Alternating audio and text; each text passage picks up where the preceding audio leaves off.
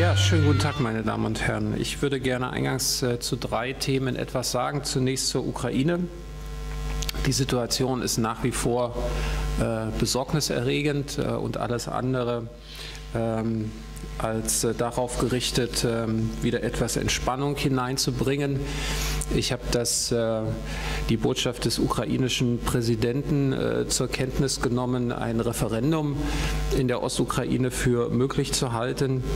Ich werte dies als Versuch, deeskalierend zu wirken in der momentanen Situation und will das deswegen auch ausdrücklich würdigen diesen Vorstoß. Insgesamt gibt es eine ganze Reihe an diplomatischen äh, Bemühungen dieser Tage seitens der Vereinten Nationen, der OSZE, aber auch seitens der EU. Auch das will ich äh, nicht geringschätzen. Das ist das, was im Moment äh, notwendig und geboten ist. Ich hoffe natürlich darauf, dass alle beteiligten Seiten diese Chancen, die sich in diesen Gesprächen bieten, auch nutzen.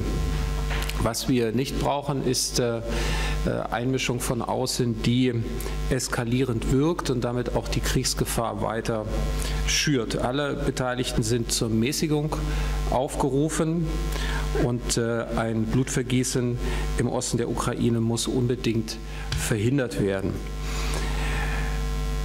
Zweite Bemerkung, die ich machen will zum SIPRI-Bericht äh, zu den jährlichen Rüstungsausgaben. Die weltweiten Rüstungsausgaben sind 2013 gesunken. Das ist allerdings nur auf den ersten Blick eine gute Nachricht. Sie sind äh, gesunken, weil es seitens der Vereinigten Staaten einen erheblichen Rückgang gegeben hat äh, seit dem Ausbruch der Haushaltskrise dort und dem Rückzug aus Afghanistan.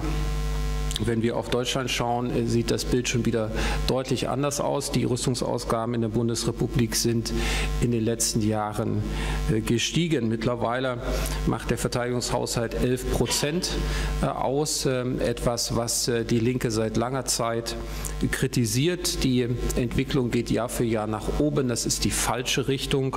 Deutschland muss, so wie andere Länder auch, seine Rüstungsausgaben zurückfahren, anstatt ständig notwendig zu erhöhen. Wir wissen überdies, dass äh, im Verteidigungsministerium ja nun nicht zum ersten Mal auch äh, Rüstungsausgaben, Rüstungsprojekte aus dem Ruder laufen und die Kosten äh, zunehmend explodieren. Wir müssen Abstand nehmen von diesen Großprojekten. Deutschland sollte in zivile Projekte und zivile internationale Zusammenarbeit investieren, anstatt weiter seine Rüstungsausgaben zu erhöhen. Dritte Bemerkung, die ich machen will zum Thema NSA und Edward Snowden. Wir haben auch dieser Tage wieder eine Diskussion darüber innerhalb der Koalition und darüber hinaus, ob Edward Snowden nun vor dem Untersuchungsausschuss aussagen soll oder nicht. Wir bleiben dabei, Edward Snowden ist ein wichtiger Zeuge, vielleicht sogar der wichtigste Zeuge in dieser äh, Affäre und deswegen bleiben wir auch dabei, dass er vor dem Untersuchungsausschuss aussagen soll. Er ist äh, bereit dazu. Die rechtlichen Rahmenbedingungen sind für eine solche Aussage gegeben. Das hat der Wissenschaftliche Dienst des Bundestages ja in einem Gutachten bestätigt und deswegen werden wir gemeinsam mit den Grünen im Deutschen Bundestag auch weiter Druck machen, dass es zu einer solchen Aussage kommt.